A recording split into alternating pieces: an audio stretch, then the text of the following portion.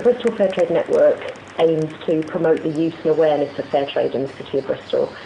So um, by trying to hold sort of fairly high profile events and campaigns and things, we basically try and tell the people of Bristol about fair trade, what's out there, mm-hmm. um, what different products there are, where you can buy them.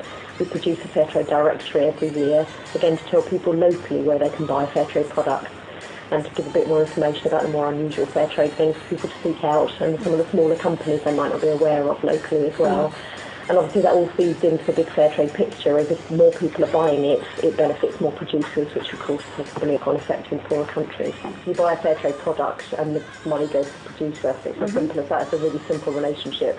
Um, and actually in fair trade, a lot of the sort of middlemen are left out. Mm. So if you buy a pack of fair trade coffee, that only then goes to the company like Cafédirect or whoever it is, who then pays the, the cooperative group of farmers. The main benefit we hope from the fashion show is that more people will buy fair trade clothes. Um, and the key benefit there is for cotton farmers because uh, it's been really, really tough in recent times for cotton farmers because, as you know, our clothes are getting cheaper and cheaper. Mm. So, of course, the price of cotton has had to go down and down for the companies to be able to provide us the cheap clothes that we're kind of expecting now.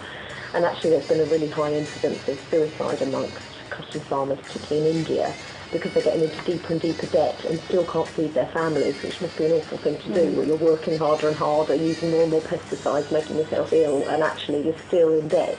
So cotton is a really key area, and that's why we wanted to do a fashion show to try and raise awareness about fair trade fashion, because most people know about about bananas and coffee mm. and that sort of thing, but not so much about the fashion.